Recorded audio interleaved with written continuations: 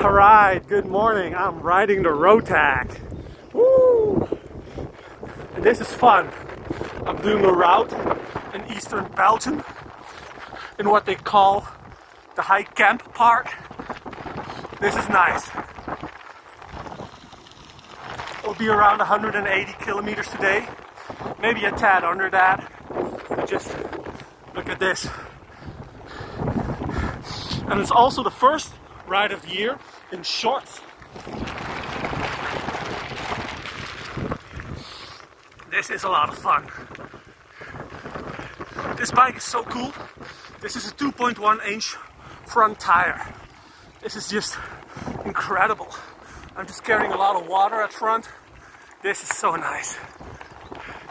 All right, over and out. Gonna use both hands.